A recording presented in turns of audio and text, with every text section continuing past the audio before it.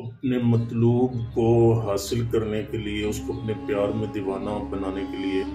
ये जो सिफली तलिसम है, नक्श है, इसको आपने जो है वो लिखना है मोहब्बत के साथ में, जोहरा के साथ में, जो या मुश्तरी के साथ में जुमे या पीर के दिन आप ये लिखेंगे।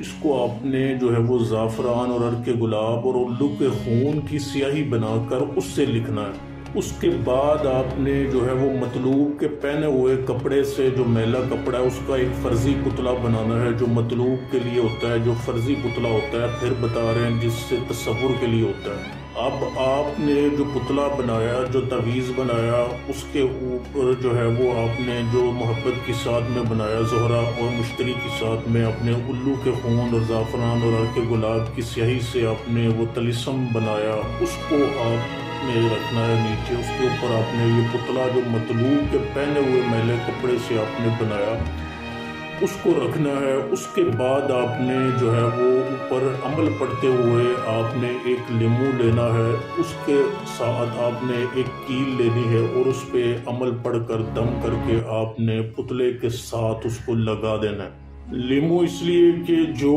अमलियात की, जो उसमें जादू टोना की उसमें कोई असरात हैं तो वो काट हो जाए ताकि अमल अपना असर जारी रहे। इसलिए आपने लीमू रखते हुए ऊपर से वो सुई लगानी है ताकि जो भी मसला बीच में जादू जिन्नात है, वो भी काट हो जाए और असर हो। इसमें तस्वुर, यकसुई, इरतकाज, तवज्जो यकीन कामिल ये चीज़ होगी तो अमल असर होगा। जब आप ये अच्छी तरह अमल पढ़ के उस पर दम करके दो कीलें आपने लोहे की लगानी है लीमू के साथ पुतले के ऊपर और नीचे तलिसम रखा होगा, उसके बाद आपने जो है वो खुशबू कोई भी ऊपर छिड़क दें अच्छी तरह से और उसके बाद आपने जो है वो सारी चीज़ों को इकट्ठा करके आप बाँध दें। याद रहे अमलियात की शराइ तो कवानीनों के मुताबिक अमल करेंगे तो अमल असर करेगा। ये नहीं होता कि आप अपनी मर्ज़ी करें, अपनी तरफ़ से जो भी कोई किताब में देख के अमल पढ़ ले और वो चलना शुरू हो जाए और वो असर कर दे। नहीं, अमल का आमिल होना, उसकी जक़ात दी होना और उसके जो है वो जन्नात व मौकलात को आपने हाजिर किया होना, तभी अमल असर होता है। ये काम जो है वो रातों रात करने वाले नहीं होते। अगर आपने रातों रात कुछ करना है तो आप उससे कुछ हासिल नहीं होगा। हमने अगर पचास साल की खिदमत की है, मेहनत की है, मुशक्क़त की है और उस्तादों की खिदमत की है, उससे हासिल हुआ है कुछ हमें तो हमने मेहनत से, चिल्लों से कुछ हासिल किया।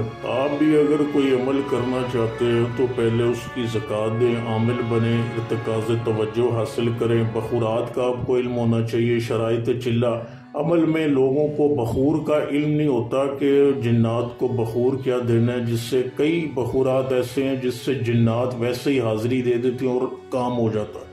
तो ये चीज़ें आपको ख्याल रखनी होती हैं, बखूरात का, सियारों का, मिजाज का, इल्म नजूम का आपको थोड़ा बहुत पता होना चाहिए, तवीज़ात लिखने का आपको सही साथ का, सही तरीका मालूम होना चाहिए, इरतकाज, तवज्जो, यकीन, कामिल, ये सब चीज़ें हों तो अमल सौ फ़ीसद चलता है।